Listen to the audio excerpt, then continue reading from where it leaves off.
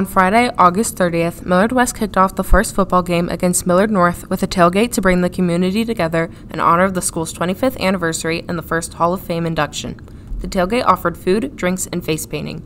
We um, came up with the idea when we had the 25th year that we certainly want to find a way to bring our alumni back to Millard West High School, and uh, we so we want to welcome people back. We want to welcome our current uh, staff and students, and also just welcome future Wildcats, bring them to the community.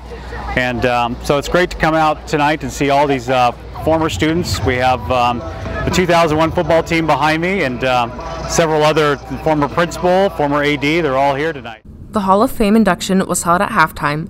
There were nine inductees varying from the 2001 football team, honorable staff, and former students. They were introduced and recognized for their accomplishments during and after their high school career, then they received their Hall of Fame plaque it means a lot um, that he's still remembered and that um, people remember him and they are thankful for what he did for the community and for Millard West. And, and I would add, it's really nice at this game. Yes. Jim opened Millard North and was their first trainer. Right. And then opened Millard West as their first trainer. Yeah. So he's yeah, got it's a lot of connections full circle, here. Yeah. And he trained many of the athletes that are here today on the Hall of Fame. This ceremony was an opportunity to welcome back faculty members from the opening of the building.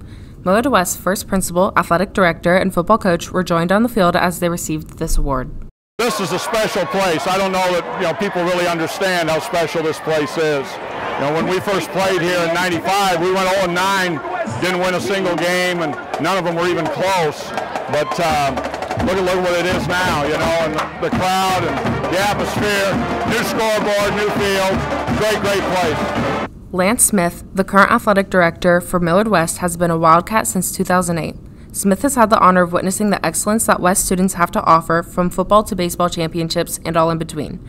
To me, the 25th year is just all about tradition, celebrating uh, everybody that has built what it is at Millard West. I've been at Millard West for 10 out of the 25, and when I got there, all the same traditions still apply um, that they do now, and so just celebrating that, bringing people back and making connections with their um, former school and things like that. So we just want to connect with alumni all year long. Surely these Wildcat traditions and talent will withstand the test of time. This has been Jasmine Hermercio Padilla, Caitlin Willard, and Olivia Oath signing off for the MWHS Wildcat News.